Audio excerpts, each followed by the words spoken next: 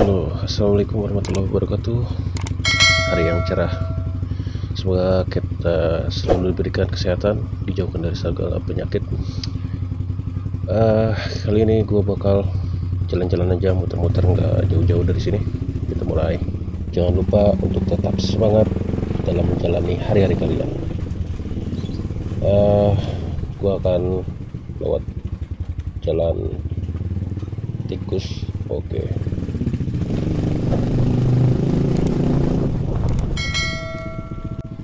karena kalau lewat jalan biasa kan macet. Biasanya jadi gue lewat sini aja. Tetap hati-hati kalau lewat jalan speed kayak gini.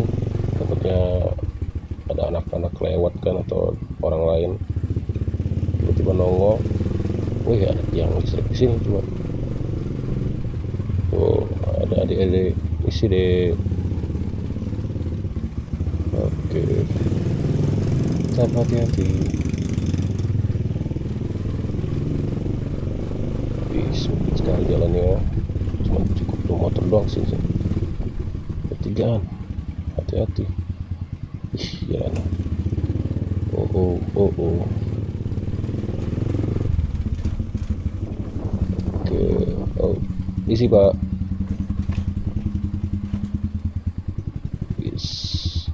Alhamdulillah hari ini alhamdulillah cukup cerah.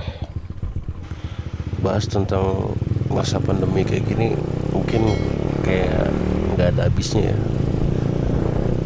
Entah perasaan gua atau mungkin kalian rasain juga. Kayaknya belakangan ini suasana makin kayak ya banyak yang berubah. sedikit apa ya gue bingung jelasinnya nggak sedikit. Oke. Okay. nggak sedikit dari yang usaha pada nutup usahanya. Dan nggak nutup kemungkinan juga gitu loh yang kerjanya juga akan dikeluarkan gitu. Sangat banyak gitu loh. Dan itu juga dialami oleh uh, teman-teman gue gitu. Yang usaha yang bekerja. Sekarang ya cukup sulit untuk uh, apa namanya mencari pekerjaan baru gitu. Dan buat pengusaha juga harus pintar-pintar juga untuk mengatur uangnya karena uh, di masa pandemi kayak gini ya seperti kayak gimana gue ya gue nggak alih lah. Mungkin perputaran uangnya itu agak sedikit lambat gitu loh ya. Mungkin berimbas kepada usaha mereka dan akhirnya juga ya berimbas juga kepada pekerjaan teman-teman uh, gitu. Ada juga yang dia dikeluarin sempet uh, gue naik gojek waktu itu ya. Uh, abangnya cerita awalnya gue tuh di kerja di salah satu uh, perusahaan gitu. Terus ya gue kena imbas dari uh, apa namanya pengurangan karyawan. Dan ya dia harus menghidupi anak-anaknya menghidupi istrinya ya menghidupi keluarganya. Mungkin ada kebutuhan lain yang gak mungkin dia harus diam gitu aja gitu loh.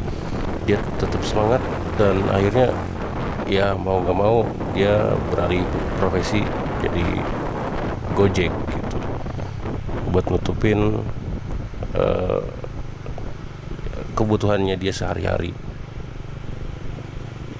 ya ya kita buat yang masih bekerja dan masih usaha punya usaha atau masih memiliki rezeki bersyukurlah. Allah kasih kesempatan untuk kita merasakan itu. Dan jangan menutup mata juga buat saudara kita yang eh, ya katakanlah kesulitan lah.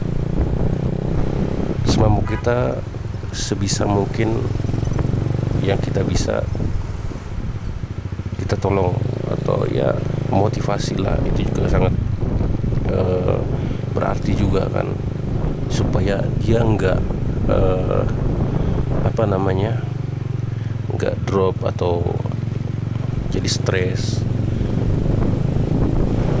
Mungkin ada hal lain yang bisa kita lakuin gitu loh. Ya sekarang kita udah semestinya harus bangkit move on lah. Tetap semangat. Kita coba hal-hal baru gitu. Jangan ya meratapi keadaan.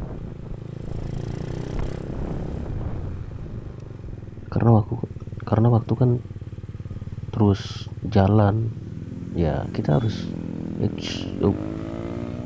wow